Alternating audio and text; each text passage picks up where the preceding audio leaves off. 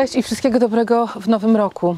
Dlatego, że dzisiaj pierwszy raz spotykamy się na vlogu w tym roku 2023 i od razu przepraszam bardzo za to, że dopiero teraz zaczęłam nagrywać, ale uwierzcie mi, że po prostu no, wymówka jest prosta, za dużo pracy, za mało czasu. ale bardzo chciałam wrócić do tych vlogów e, i te osoby, które trochę tęskniły za tymi filmami, mam nadzieję, że będą usatysfakcjonowane, że będę próbowała teraz e, co tydzień nagrywać. Ale oczywiście najwięcej czasu zabrało mi, zabrało mi pracę nad e, przygotowaniem książki do druku. Teraz jak wy oglądacie tego vloga, w tym tygodniu ta książka jest drukowana w Łodzi, także już jest koniec, kulminacja tych ciężkich prac, nie tylko mojej pracy, ale tych osób, które zajmowały się redakcją, korektą, grafiką. No naprawdę tych osób jest zamieszanych bardzo, bardzo dużo w przygotowaniu książki do druku. Ja byłam zdziwiona, wy byście też byli bardzo zdziwieni. Także e, książka idzie do drukarni. no jest w drukarni we wtorek. Podejrzewam, że oglądacie to już po wtorku. Także kciuki, um, fingers crossed, jak to się mówi po angielsku. I słuchajcie, jeżeli jesteście z, z Warszawy albo z okolic, to zapraszam serdecznie 25 marca w sobotę e, na spotkanie w miejscu, które nazywa się Nowa Księgarnia e, na spotkania autorskie. O tym wszystkim e, znajdziecie informacje pod spodem tego vloga, plus na Instagramie, na Facebooku. Na spotkaniu będę ja. E, oczywiście będę opowiadała o książce i będę odpowiadała na różne inne pytania i też będę na pewno mogła podpisać Wasze egzemplarze, jeżeli macie mieć ochotę na to, żeby posiadać egzemplarz z moim autografem. Także tyle na początku.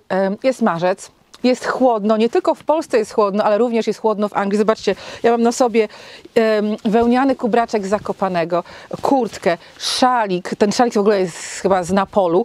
E, potem mam, mam um, pod koszulkę, z czego moja mama by była bardzo zadowolona, jest naprawdę chłodno. I to jest ważne dla ogrodnika, dlatego że nasiona nie wschodzą tak, jakby mogły wschodzić w marcu, który jest troszeczkę cieplejszy. Wprawdzie tutaj, słuchajcie, nie jest tak źle, dlatego że mamy te 0 do 6 stopni, więc to nie jest tak strasznie zimno. Ta gleba powolutku się nagrzewa, ale nie mamy słońca, niestety, dlatego że cały czas patrzę na moje solary, mam taką aplikację na telefonie, patrzę, czy moje e, solary są naładowane, ładują baterie, ale, ale dzisiaj nic nie ładują, więc wiecie, od czasu jak się zaczęło obserwować prąd, e, jak to wszystko działa, to człowiek troszeczkę czasami dba o to, kiedy wstawiać pralkę, a kiedy wstawiać zmywarkę, dlatego że to te e, e, akurat rzeczy bardzo dużo prądu biorą. Także u nas to jest kolejna nowość. Też pewnie o tym usłyszycie kilka razy w tym roku, właśnie o tych, o tych naszych solarach i o tym, jakie to jest niesamowite, że bierzemy energię ze słońca, jak to słońce jest. Także chłodny miesiąc w Polsce, przymrozki, ale Pamiętajcie, jest marzec i dlatego to jest już naprawdę ten czas, ten moment, kiedy wasze lasagne, tutaj są lasagne, one na razie tutaj tylko, tylko tu widać, że tutaj są jakieś rośliny, um, rośliny cebulowe, ale ogólnie tutaj na razie tylko są brateczki. Te lasagne powinny powolutku już e, w Polsce też być wystawiane na zewnątrz, tak? One nie powinny już być w miejscach, jeżeli macie na przykład gdzieś w jakimś garażu chłodnym, czy w miejscu, gdzie jest mało światła, dlatego że wasze um, rośliny, które pierwsze zaczną wysyłać pędy, to będą właśnie e, szafirki. Szafirki, jak widzicie, tutaj już nawet kwitną. Będą szafirki i będą narcyzy. I one będą miały takie żółte, brzydkie liście, jeżeli będą wewnątrz, jeżeli nie będą miały światła. E, dlatego nawet jeżeli będą przymrozki, to już spokojnie możecie te rośliny wystawiać na zewnątrz, przepraszam, dlatego że to już te przymrozki nie są takie, im takie straszne. Jeżeli te y, lasagne wasze stały w miejscu, gdzie nie było światła, to nie mieliście na pewno dosadzonych bratków, ja tutaj mam takie różne ładne bratki, ani też laków pachnących. To jest lak pachnący, lak pachnący, który już zaczyna kwitnąć, ale te rośliny były w nieogrzewanej szklarni, tak? Te lasagne, one były w miejscu jasnym, dlatego i bratki, i laki poszły do tych donic już kilka miesięcy temu i tak zimowały w nieogrzewanej szklarni. Ale jeżeli na przykład zimowałabym te, te donice, te lasagne, jak ja to na to mówię, w, w chłodnym garażu, albo w miejscu, albo w jakiejś piwnicy, w miejscu, gdzie nie ma światła, to oczywiście nie posadziłabym z nimi ani laków, ani niezapominajek, to są też niezapominajki, o tutaj, ani bratków, dlatego że one by umarły bez światła. I ale to nic, dlatego że teraz się dopiero pojawiają e, w sklepach, teraz jest pełno, wiem, że w Polsce jest pełno w, w centrach ogrodniczych różnych em, roślin, właśnie takich, które spokojnie znoszą przymrozki i chłody. I teraz do tych lasagne możecie dosadzać. Przepraszam, ale jest tak zimno, że z nosa leci non-stop. Także możecie się teraz tym zająć. To jest moment na piękne wiosenne donice. Słuchajcie, jeżeli macie te lasagne, to dobrze, dosadzajcie brateczki, laki, nie zapominajki, ciemierniki może. A jak nie macie tych lasagni, to tak naprawdę w szkółkach można kupić już podpędzone e, rośliny cebulkowe i zrobić sobie taką ekspresową lasagne em, na, na wiosnę. Aha, i tutaj przy okazji chciałam Was e, zaprosić bardzo serdecznie na webinar. To będzie webinar Garden Masterclass Polska w środę 8 marca. Informacja też, informacje też znajdziecie pod spodem tego vloga. E, I e, podczas tego webinaru będzie bardzo wyfikany angielski ogrodnik opowiadał o, tych, o tym, jak on robi wiosenne i letnie donice w ogrodzie Sissinghurst w Anglii, takim pięknym ogrodzie, bardzo starym. Także jeżeli macie ochotę i możliwość, to koniecznie dołączcie ten webinar. Jest płatny, uprzedzam, trzeba się zarejestrować i kupić bilety. Ja na pewno na tym webinarze będę. Także, o, pieseczek przyszedł do nas. Także słuchajcie, o, jaki mokry pieseczek, to jest chłopczyk, to jest Darfek. Mm. Także lasagne na zewnątrz. Nie bójcie się, że są przymrozki. Jeżeli macie minus 6, minus 8 stopni w nocy, no to jeszcze niech nie wystawiacie albo okrywajcie na noc agrowłókniną. Ale naprawdę tym roślinom już nic nie będzie. One mają już rozwinięte systemy korzeniowe, więc one teraz już są mocne. Także to jest jedna rzecz, którymi, którą e, możecie się teraz zająć e, tą wczesną wiosną, dlatego że w sumie jest jeszcze wczesna wiosna. A druga rzecz to jest oczywiście, jeżeli pogoda Wam na to pozwoli, możecie wyjść do ogrodu powolutku, jeżeli nie jest zbyt mokro, jeżeli trawnik nie jest zbyt mokry, że możecie potem po nim chodzić i zająć się, stawiać pierwsze kroki w kierunku tem, tym, żeby zająć się swoimi rabatami ozdobnymi. I o tym właśnie chciałabym dzisiaj Wam e, powiedzieć na przykładzie mojej rabatki tutaj e, w Toadpool w Anglii. Zapraszam.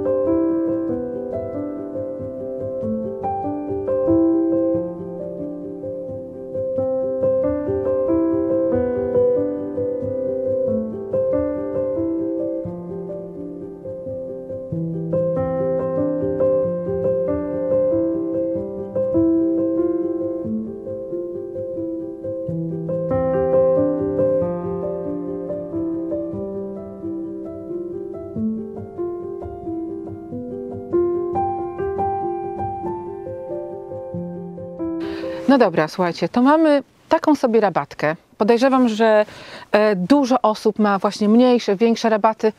Nie ma znaczenia. To jest przykład tego, co może się dziać po zimie na rabatach ozdobnych. I wiecie co? Nie ma znaczenia tak naprawdę, czy jest preria, czy nie, dlatego że na prerii też będziecie przycinać dopiero na wiosnę, teraz.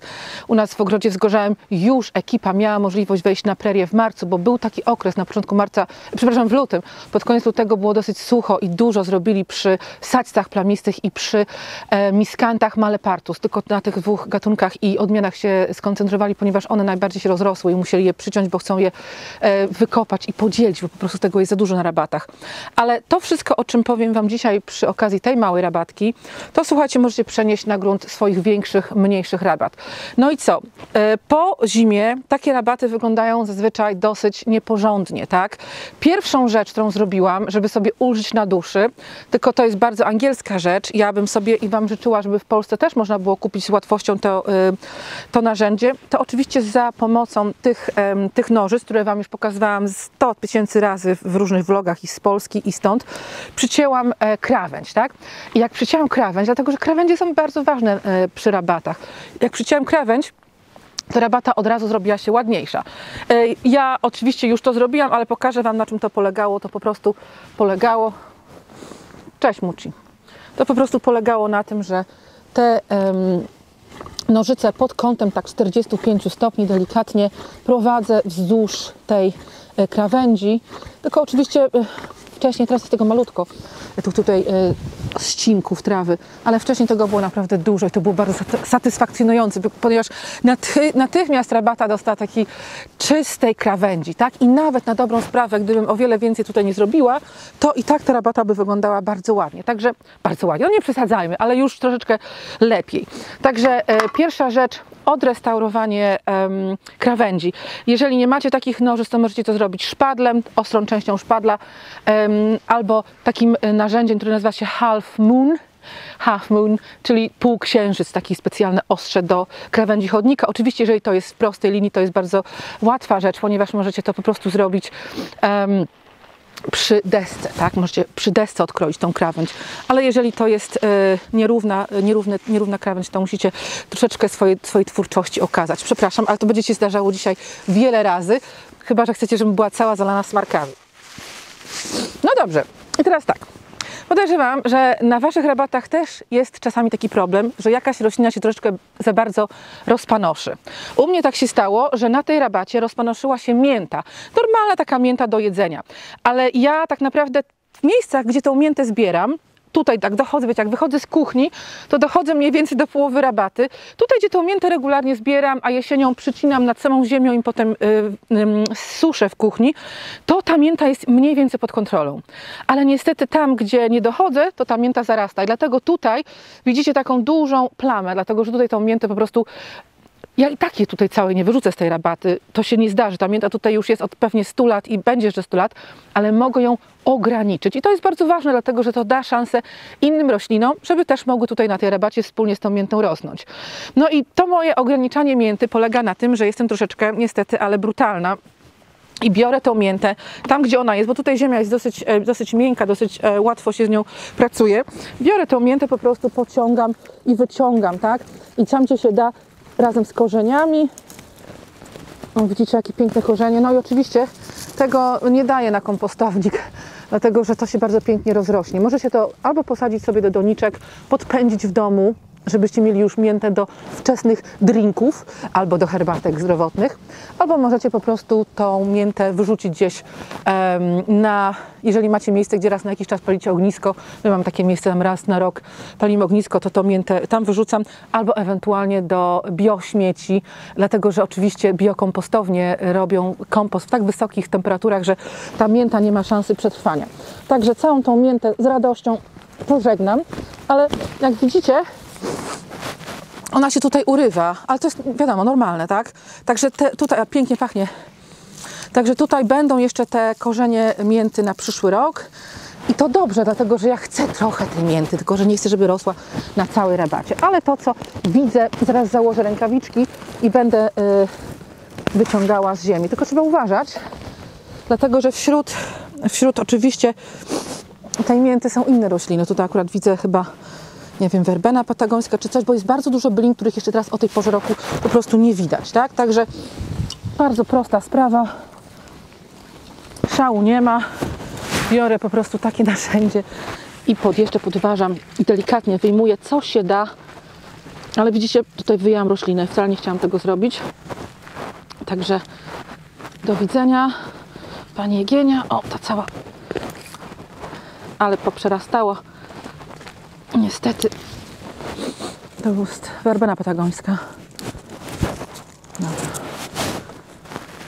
Hello Muci. Zobaczcie, jak strasznie poprzerastały te korzenie mięty, tą, e, tą werbenę patagońską. Chyba się pożegnam z tą werbeną, ale to, to akurat nie ma problemu, ponieważ mamy dużo werbeny każdego roku z nasion. O, i tutaj to musi wszystko być jak najlepiej się da wyrwane, tak? Tak jak mówię, wszystkiego i tak nie damy rady, i to, co zostanie, będzie na herbatkę na przyszły rok. Ale im bardziej ograniczymy wzrost korzeni, tym potem będzie lepiej dla nas. I dla roślin, które tu będą rosły. Ok. To jest naprawdę bardzo satysfakcjonujące, ale żeby Was nie zanudzać, to temat już tej mięty zostawię na razie, tak? Tak jak mówię, zaznaczam. Nie mam zamiaru tej całej mięty stąd wyrzucić, dlatego że to nie ma takiej w ogóle opcji ale chciałabym je ograniczyć, dlatego że tutaj chciałabym coś posadzić innego, co nie jest miętą, tak? bo to nie jest farma mięty. Także jed, y, pierwsza rzecz, którą robicie na, na zagonach wiosną, odnawiacie krawędzie, wyrzucacie rośliny, które się za bardzo rozpanoszyły, za bardzo rozrosły, żeby dać szansę innym roślinom. No i oczywiście przycinacie. Jeżeli chodzi, chodzi o przycinanie, to ja tutaj mam taką roślinę, którą uwielbiam i kupiłam w zeszłym roku sobie jedną taką, e, jeden egzemplarz. To jest, to jest goździk kartuzek. Roślina, która w Polsce rośnie często na dziko, ale niestety takie naturalne rośliny wyszły z mody i teraz rzadko można w ogóle je kupić. Dlatego zostawiłam tego kartuzka, on tutaj jest. Zostawiłam tego goździka kartuzka, żeby wytworzył nasiona. Ja te nasiona pobrałam jesienią i teraz będę rozmnażała go z nasion. Oczywiście mam nadzieję, że tutaj też te nasiona opadną. Ale teraz już widzicie, jest ten moment, kiedy te, tą roślinę trzeba przyciąć, tak? Tylko zobaczcie, e, ten kartuzek ma jak większość goździków ma, on jest taki na pół zielony. On ma tutaj e, liście. Dlatego nie, będzie, nie będę tych liści przycinała, tylko pomiędzy liśćmi suche pędy. Jak trochę liścia się gdzieś przytnie, to też nie jest taki wielki problem, ale chodzi nam o te suche pędy. O, Teraz to wyrzucamy na kompostownik. Oczywiście tego nie będę wrzucała do tego samego opakowania, do tego samego wiaderka, w którym mam e, tą miętę. Na razie położę tutaj i zabiorę na kompostownik, ale tak jak Wam opowiadałam e, jednym z ostatnich vlogów w zeszłym roku, słuchajcie, jeżeli macie takie dzikie rabaty albo rabaty preriowe, to takie rzeczy, które przytniecie, możecie spokojnie zostawić na rabatach. Wcale nie musicie ich wrzucać na kompostownik.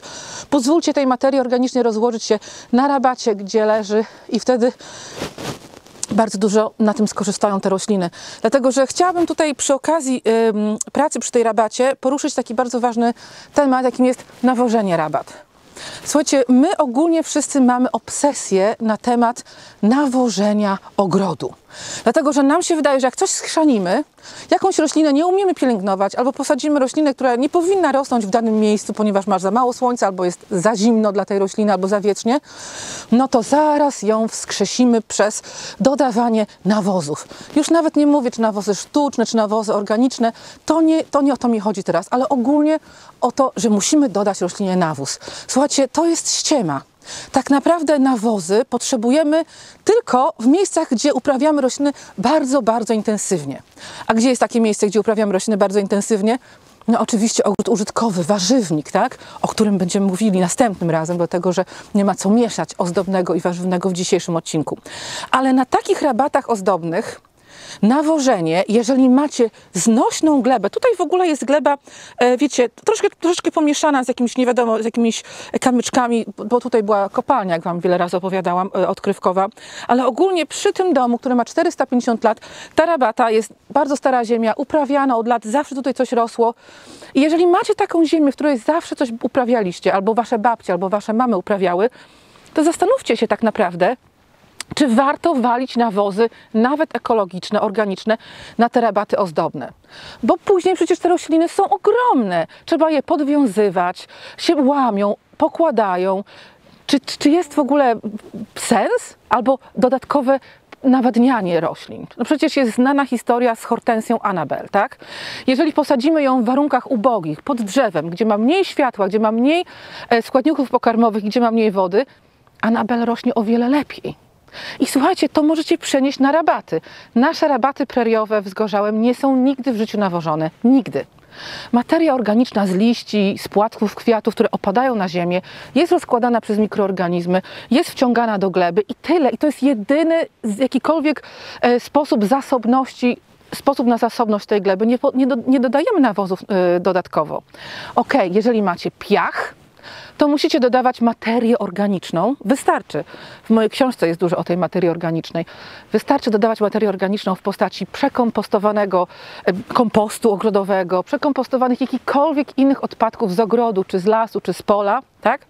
I później mikroorganizmy, które będą wciągały i dalej rozkładały te tą materię e, organiczną. To są niesamowite, e, niesamowite stworzenia, które są w stanie z waszego piasku wydobyć też składniki pokarmowe i rozłożyć go, dlatego że bardzo wiele z nich ma na przykład odczynnik, odczyn e, kwaśny, który będzie rozkładał, normalnie rozbijał te małe cząsteczki um, piasku, a piasek rozbity wiecie, ma bardzo dużo składników mineralnych i odżywczych, także to jest dobra rzecz, tylko że w postaci samego piasku na plaży nic nie urośnie. Ale jak na plaży dodacie troszeczkę materii organicznej, to już będzie lepiej. Także jak musicie, jak musicie, to dodawajcie ten, e, ten nawóz organiczny, ale jak nie musicie, ja tutaj w życiu to nie nawożę niczym. Słuchajcie, zobaczcie, zobaczcie, te, zobaczcie ten ciemiernik, tak? Ja właśnie, to jest kolejna rzecz, której nie przycięłam, a powinnam była przyciąć e, i on też, ta rabata też będzie lepiej wyglądała. Tutaj Wam zostawiam kawałek jeszcze, który nie ma przyciętej krawędzi. Zobaczcie, jak nieładnie wygląda, a tam jak ładnie. Ale dobra, i zobaczcie, ciemiernik, jak on tutaj pięknie rośnie w życiu ten ciemiernik nie miał nawozu, w życiu. Także naprawdę nawozy są troszkę przereklamowane. Wiecie jak to jest, czasami na tym się robi pieniądze e, i niekoniecznie chodzi o zdrowie naszych roślin czy, czy planety. Dlatego zastanówcie się za każdym razem, kiedy sięgacie po e, nawóz, czy potrzebujecie. Jeżeli, e, jeżeli już, to oczywiście nawozy ekologiczne, ale czy koniecznie na rabatach ozdobnych są potrzebne te nawozy? To jest pytanie.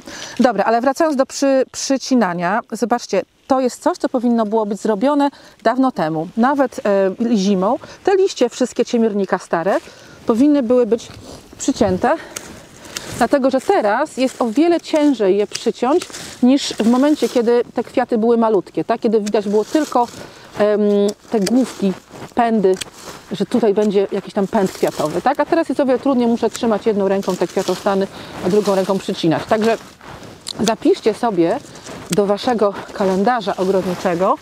Oj, oj, zerwał mi się w kwiatek, ale to nic. Dlatego, że sobie go po prostu wstawię zaraz do, do wody.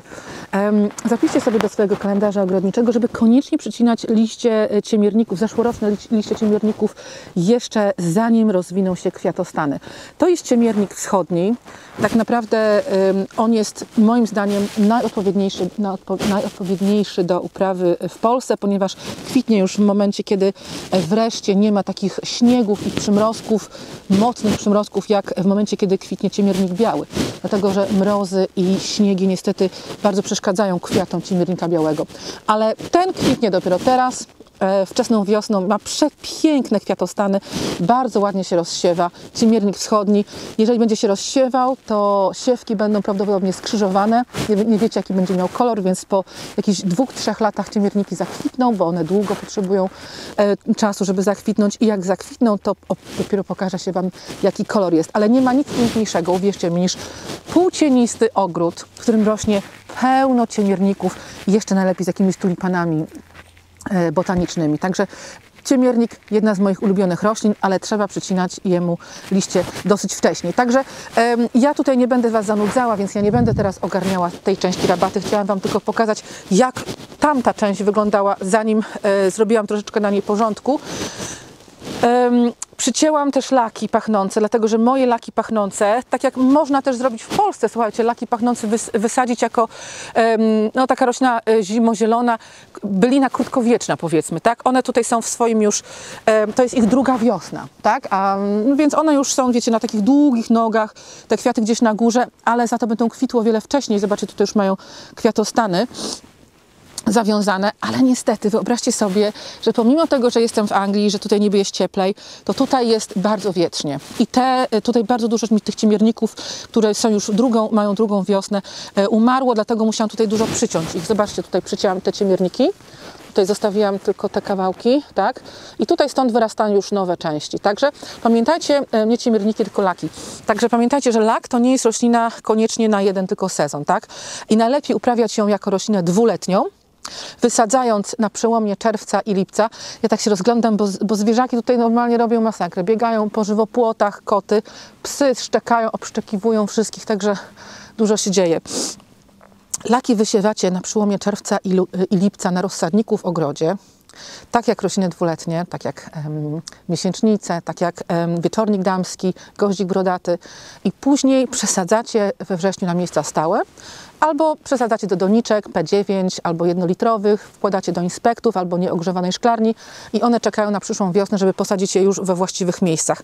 Ale później nie musicie ich wy, wy, wykopywać, jak one przekwitną. Zapomnijcie o nich, bo one w związku z tym, że to będą rośliny e, dwuletnie, chociaż można je wysiewać wiosną jako roś- rośliny jednoletnie, ale właśnie jednoroczne, ale właśnie nakłaniam Was do tego, żebyście używali ich jako roślin dwuletnich, ponieważ one wtedy wiosną będą o wiele wcześniej kwitły, kiedy jeszcze nic innego nie kwitnie, to jest bardzo atrakcyjne, bardzo ładnie pachną, a więc są bardzo dobrym, e, bardzo dobre są miododajne też dla, dla owadów. I wtedy jak one przekwitną, to cała reszta letnich roślin kwitnie i wtedy już nie musicie się martwić o lakach e, pachnących, a one później, jeżeli przeżyją zimę, a wiem, że przeżywają zimę e, w Polsce, w wielu miejscach przeży, przeżywają, to w przyszłym roku na wiosnę znowu będą kwitły dosyć wcześnie. Ale tak jak mówię, jeżeli po prostu one przemarzną w związku z, z takim suchym, mroż, mrożącym wiatrem, to po prostu te te części zamarznięte trzeba będzie przyciąć. Tutaj też jest jeszcze jedna roślina, która mnie martwi. Tu jest piękna kocimiętka. O tutaj. Tutaj są wszędzie krokusy śliczne, botaniczne. I tutaj jest ta, ta kocimięta. I no wiadomo, kocimięta na, na wiosnę, prosta sprawa, się przycina, tak? Najlepiej w momencie, kiedy ona jeszcze nie ma e, za dużych pędów, żeby nie trzeba było ich niechcący okaleczyć. Ale tutaj, do tej kocimięty mi się wdarła trawa jakaś. Chyba to jest nawet, to jest chyba nawet pesz. Także nie wiem właśnie, czy ta kocimięta przeżyje to e, wyrywanie tego perzu z korzenia. Ja zgubiłam gdzieś moje narzędzia, ale zaraz odszukam. O, tu jest. Założę rękawiczki.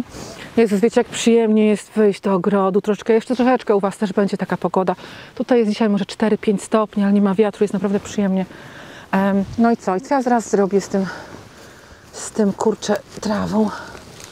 No, będę próbowała robić jakieś straszne rzeczy, ale rzadko się zdarza, żeby tak aż przerastały rośliny. Em, nie wiem.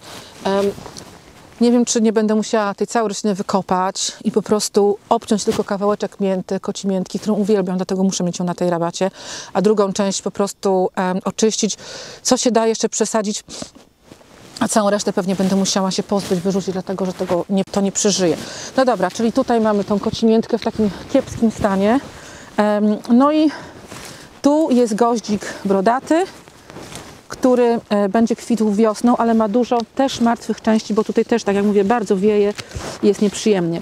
A w związku z tym, że ja mam pełno kolejnych goździków brodatych, które wysiałam sobie e, w czerwcu i w lipcu na rozsadniku, to mogę po prostu teraz je dosadzić, więc tak za bardzo nie, nie przeszkadza mi to, że, że musiałam się ich pozbyć. No i teraz mam sporo miejsca, e, krokusy, przebiśniegi, niech sobie kwitną. Ja tutaj sobie jakoś będę musiała poradzić z, tym, z tą biedną kocimiętką, ale nadszedł czas na coś przyjemnego. Nadszedł czas na to, żeby przynieść tutaj kilka roślin i posadzić e, w tych wolnych miejscach. Ja widzę na przykład, że tutaj jest roślina Nepeta gowaniana. To jest jakaś zupełnie nowa kocimięta. To ona kwitnie na, słuchajcie, nie wiem, ona nie wiem, czy ona nie kwitnie na yellow, tak, ona kwitnie na żółto i ona, słuchajcie, pomimo tego, że ma takie brzydkie em, badyle, ale ona oczywiście przeżyła zimę, bo mięta to jest roślina, to jest bylina, ona przeżywa, jeżeli chodzi o korzeń, to bez żadnego problemu. I tutaj na pewno widać, że już idą takie młode, em, idą takie młode miętki. I zobaczcie, na tej rabacie jest dużo rzeczy, rzeczy, które same się też porozsiewały. Już nie mówię o tym, że te em, krokusy to totalnie tutaj same się rozsiewają, dlatego że ja ich tak nie sadziłam. Ale tutaj i tu, i tu, i tu, o tu są młode krokusiki, na przyszły rok będą kwitły. Tu i tu, to wszędzie są niezapominajki. I niech sobie rosną, będą pięknie wyglądały. Tutaj rozsiał się, em, to jest e, bodziszek żałobny. Widać po listkach ma takie charakterystyczne kropki. On też będzie bardzo ładnie wyglądał. I słuchajcie, skoro on tutaj się rozsiał, to mi mówi, to oznacza, że on będzie się tutaj dobrze czuł. Więc nie będę walczyć z wiatrakami. Jeżeli on chce tutaj rosnąć, to niech sobie y, rośnie. E, Oczywiście ja do tego będę dosadzała to, co ja bym chciała, żeby tutaj rosło, ale, nie, ale jeżeli coś naprawdę chce tutaj być, to niech będzie, bo to oznacza, że będzie wyglądało naprawdę ekstra. Proszę mi nie kreśl rękawiczek. O właśnie. Nie wolno, nie wolno, nie wolno. Potem ci dam rękawiczkę, dobra, ja skończę. Em, E, tak, także to chciałam powiedzieć. Wiecie co, zawsze zapominam, co chciałam powiedzieć, jak widzę te piękne pieski, bo się em, schodzę z tematu. Aha, tutaj jeszcze chciałam Wam powiedzieć, że idzie em, y, bo, bo Malwa. Tutaj to są liście malwy, idzie malwa. Wiecie, na początku sezonu to wszystko tak marnie wygląda, ale te rośliny tutaj są. One przeżyły pod ziemią, mają mocne, e, mocne korzenie, także podejrzewam, że wszystko będzie dobrze. I uwierzcie mi, że pomimo tego, że teraz on tak wygląda kiepsko, ten zagon, ta rabata wygląda troszeczkę smutno, to ona tutaj wiosną jest przepiękna z tymi wszystkimi e, właśnie e, goździkami brodatymi. I tutaj też będą czosnki ozdobne i tutaj będą em, em, tulipany. Jeszcze jedna rzecz, zanim przejdziemy do tych roślin, do sadzenia roślin. Zobaczcie, tutaj jest róża. Nazywa się Jude the Obscure. Myśmy tą różę, ja tą różę pokazywałam Wam wiele razy, jak ona pięknie kwitnie, ale zauważcie, jak my ją przycinamy, tak? Ona jest przycinana w ten sposób, że jest również naginana tutaj, na tym murku, w tą stronę, przywiązywana jest do, em, do drucika, który jest pociągnięty z tej strony muru i ona po prostu pokrywa potem kwieciem ten cały mur, po prostu coś niesamowitego. W tym momencie koty jeszcze tutaj mogą chodzić po tym murku, jak muszą dojść do tej tui, bo w tui są ptaszki i te koty siedzą i patrzą tą tuję, ale na szczęście te koty jeszcze nie złapały ani jednego ptaszka, dobra? Bo to są jeszcze małe koty, one dopiero mają 7 miesięcy. Może nie szczają, że się ptaszki y, zbiera, czy łapie. E, ale jak ta róża będzie tutaj pięknie kwitła, to koty do tui już nie będą miały możliwości dojść. Także chodźcie, zobaczymy Pokażę Wam, e, tutaj jest, tutaj akurat w ogrodzie e, warzywnym teraz idą e, prace, jeżeli chodzi o wymianę wymianę zrębków, które się rozłożyły na ścieżkach i wymianę je na, na nowe zrębki, ale o tym, się nie patrzcie teraz, musicie zamknąć oczy, to o tym będę mówiła przyszłym razem, dobra? Dlatego, że ja i tak zawsze za dużo mówię. Tylko tutaj mam taki kawałeczek ogrodu, gdzie trzymam rośliny, które wysiałam No, wiadra to akurat nie są takie piękne, ale tutaj mam rośliny, które wysiałam jako rośliny dwuletnie. E, I teraz mogłabym tutaj sobie coś wybrać, żeby posadzić na tą rabatę, żeby dosadzić do, em, do miejsc pustych. No i oczywiście tam są em, naparsnice. Naparsnice są dosyć wysokie, tam są odmianowe naparsnice, dlatego zostawię je do, na, na inne rabaty. Ale tutaj mam jakieś naparsnice takie troszeczkę, które zostały nieprzepikowane, jak widzicie, stacki, ale niemniej jednak są fajne rośliny, dosyć duże, e, więc posadzę naparsnicę tam. I co jeszcze chcę posadzić? Roślina, która w Polsce jest mało znana, a ja ją po prostu uwielbiam i staram się ją sadzić zawsze i w Zgorzałem, i tutaj. I ona odpłaca później pięknymi kwiatami, przepięknymi kwiatami, niesamowite kolory, pomarańcze, mocny, mocny żółty, pięknie się prezentuje w wazonie. I to jest nic innego jak mak syberyjski, tak?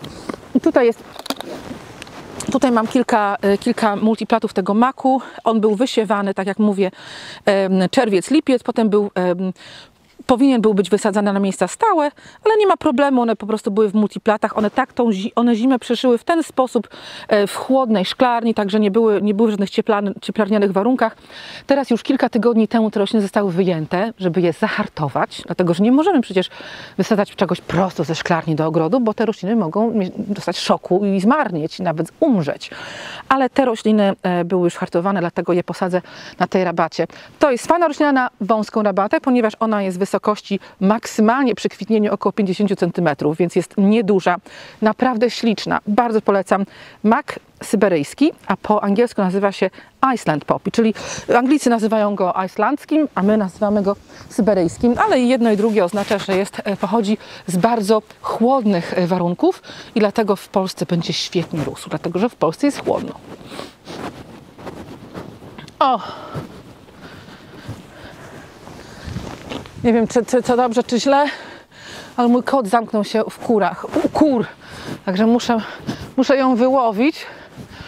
Nasze kury teraz korzystają nadal z dyni, które nie zjedliśmy po prostu, dlatego że strasznie jest ich dużo tych dyń, żeśmy przekroili na pół, teraz sobie kury je fajnie tak wybierają od środka, bardzo to śmiesznie wygląda. A to jest Muci. Muci, ty wyjdziesz sama, czy ciebie trzeba wziąć? Wyjdziesz sama, chodź bubusiu, chodź kochanie, o to jest Muci. Muci? Oj, oj, oj, oj, oj. Ach, te zwierzęta. O! A to kto to jest? Chodź, Darth, Darth Vader. To jest, to jest Darth Vader. Ma bardzo dużo mocy. Naprawdę, słuchajcie, te zwierzęta to jest całe moje szczęście teraz. No idź, misiaczku, idź do swojej siostrzyczki. Nie wiem, gdzieś tam szaleją. No dobra, kota wypuściliśmy, to możemy sadzić dalej. Em, o tej porze roku, kiedy jest tak mokro jeszcze, tak, no, ziemia jest dosyć wilgotna, no nie jest mokra, ale jest wilgotna, to można spokojnie e, sadzić nawet bez podlewania, ale zawsze warto jest, tak jak zawsze mówię, podlewać do dziury, tak? Także robimy dziurę, wkładamy roślinkę, podlewamy, poczekamy aż ta woda spłynie i później dopiero zakopujemy. Można sobie w tym czasie pójść na herbatkę i potem dopiero zakopujemy. Także oczywiście naparstnice będą wyższe, tak? Naparstnice są wyższymi roślinami, dlatego naparstnice pójdą do tak troszkę bardziej pod murek, będą bardzo ładnie się prezentowały. Tutaj będą te róże kwitły, a pod nimi będą naparstnice. Także właśnie w miejsce, gdzie wywaliłam te, tą, tą miętę, posadzimy. O, ja nie zakopuję, tak jak mówię, będę najpierw podlewała. No i fajnie też pozbyć się na wiosnę, słuchajcie, tych roślin, które były w tackach. E, ładnie wygląda, jak wszystkiego jest dużo, na bogato, a tutaj mam malwę. To może w tą dziurę tutaj, skoro będę musiała wykopać tą nepetę, ale będzie cudownie.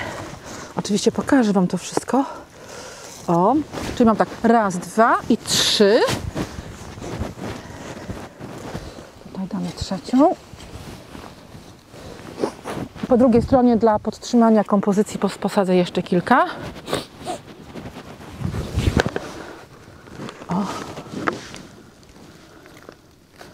To są rośliny twarde, jak nie wiadomo co, także nic im nie będzie. One będą, one się świetnie przyjmą, także raz, dwa, trzy. To możemy dać jedną, może tu pod murkiem. O. Jedną. A, a, a. Może tu. O. Ziemia z takiego, ziemia z takiego, e, z takiej tacki też jest ok, można spokojnie rozrzucić. O, i tu już macie materię organiczną, tutaj już macie nawożenie dla e, rabaty, także w tym wszystkim coś jest.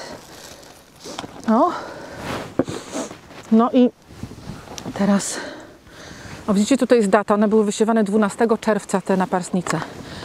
No i te piękne, dopiero będą piękne ale mają śliczne liście, też już ciekawe liście. No, szczerze mówiąc, nie takie jak wszystkie inne maki, ale, ale liście, nie, nie mniej jak są to maki. I te maki są jak najbardziej, słuchajcie, dozwolone. To nie są maki lekarskie, także możecie je spokojnie uprawiać u siebie w ogrodzie. Także te maki są niższe, dlatego pójdą e, z przodu bardziej gdzieś tutaj. Mam tam jeszcze pełno ym, goździków brodatych, tak jak Wam mówiłam. Uprawiam zawsze co roku goździki brodate, także goździki brodate też tutaj dosadzę. I sobie, wiecie co, to jest fajnie, jak możecie sobie uprawiać rośliny z nasion, dlatego że wtedy możecie sobie pozwolić na to, żeby mieć ich naprawdę tyle, ile chcecie, ogromne ilości. A wiadomo, że tylko w ogromnych ilościach rośliny na rabatach tak naprawdę robią wrażenie. Dlatego, że jak posadzicie jedną tu, tam, no to wygląda tak trochę, wiecie, biednie. Jak posadzicie duże ilości i też będziecie na przykład sadzić tą samą roślinę w kilku miejscach na rabacie, to będzie taka kontynuacja, która będzie sprawiała, że cała rabata będzie wyglądała bardzo harmonijnie, tak? Tutaj coraz mniej miejsca, ale chciałabym tutaj jeszcze mieć te... No dobra. Naprawdę em, uprawiacie swoje własne kwiaty z nasion. Naj, najła- najłatwiej i najtaniej to wychodzi. I tu jeszcze jedną wcisnąć. Widzicie, muszę, muszę zrobić, em, muszę posprzątać na tamtej części rabaty, ale to nie teraz. Także sadzimy. O, tak. Nie lubię stać na ziemi, no trudno. Tutaj może jedna iść. Tutaj może jedna iść. Uważajcie oczywiście na ślimaki, dlatego że ślimaki uwielbiają je, ale ślimaki wszystko uwielbiają. Coś mi się przyczepiło. O, tutaj, tutaj. Pewnie jakąś jeszcze znajdę kiedyś, ale to nic.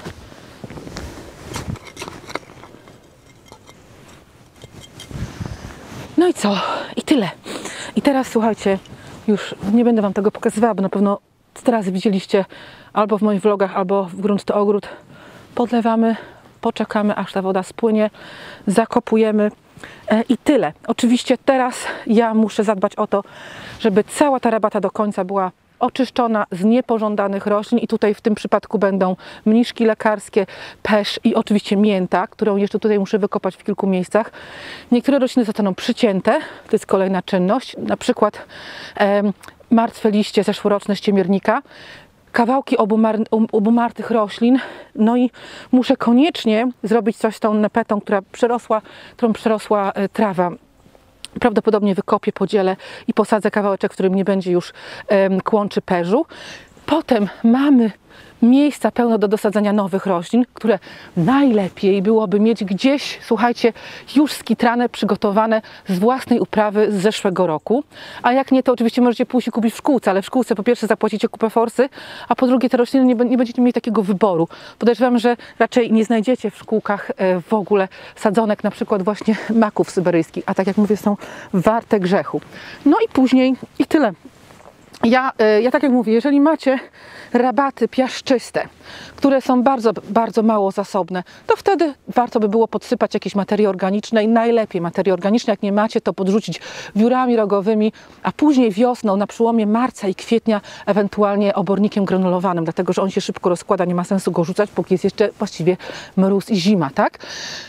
Jeżeli macie glebę gliniastą, to też warto dodawać materię organiczną, dlatego że materia organiczna sprawi, że ta gleba y, gliniasta nie będzie tak zbita, że będzie tam sporo powietrza, będą dobre warunki wodne, tak zwane wodno-powietrzne czy powietrzno-wodne, tak? Nie będzie taka zbita, nie będzie wysychała latem, dlatego bo sama zasobność w glebie em, glebie gliniastej jest bardzo dobra, tylko właśnie są bardzo kiepskie warunki wodno-powietrzne. Także ewentualnie wtedy tą materię organiczną, ale błagam, zastanówcie się za każdym razem, jak będziecie mieli ochotę sięgnąć po, jakiś kolorowy, po jakieś kolorowe pudełko nawozu, którego akurat przy rabatach ozdobnych tak naprawdę to niekoniecznie potrzebujecie. A reszta prac, a których jest sporo w marcu, nasiona oczywiście, ogrody warzywne, ogrody ozdobne, reszta prac, wszystko to jest w podcaście. Słuchajcie, w zeszłym tygodniu był podcast na temat em, właśnie ogrodu warzywnego w marcu, co, kiedy i jak siać. A w tym tygodniu będzie y, podcast na temat ogrodu ozdobnego w marcu. Także wszystko macie, e, wiecie, prasowanko, gotowanko, włączacie sobie podcast. Ja najczęściej słucham takich rzeczy właśnie jak prasuję i przy okazji e, czegoś się nauczycie, a przy okazji coś zrobicie w domu. Tak to mają, e, tak to my mamy gospodynie domowe, ale podejrzewam, że wszyscy tak mają. Także ja idę dalej kontynuować tą rabatą, dlatego że mnie to naprawdę denerwuje, że połowa jest zrobiona, a połowa nie. Wam życzę super tygodnia, super weekendu i zapraszam serdecznie do słuchania podcastów, bo w tych podcastach jest bardzo, bardzo dużo różnych mądrości. Trzymajcie się zdrowo, pa pa.